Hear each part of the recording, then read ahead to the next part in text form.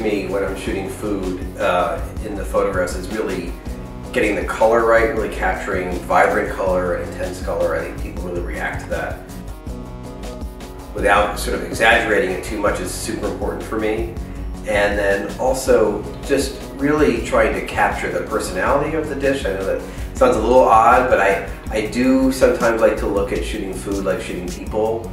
You know, it's, it's a portrait of a dish, just like it's a portrait of a person. So I try to really look at a dish and think about it and try to figure out what its best angle. And I, I really try to spend a lot of time looking at the food and thinking about before I shoot it. What's really great is if you can see a, a version of the dish before the one you actually photograph. If I'm at a location somewhere and I'm going to shoot a cheeseburger, let's say, like, can I see a cheese, the, a cheeseburger to look at it before you make the final one that's going to be the pretty one?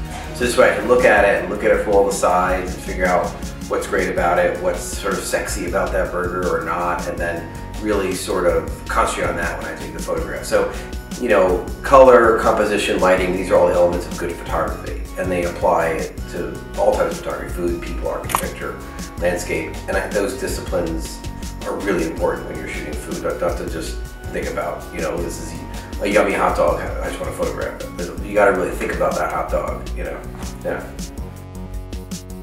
One of the most important things is the quality of the light and get that dish close to the window and use the daylight as your light source and not these sort of orange, yellow, green, red lights that are in a restaurant. The food never looks good shot under that light. So I tell people, like if you really want to take pictures of food in your home, get it right next to a window and turn off all the other lights in the house and just get that really nice daylight coming in.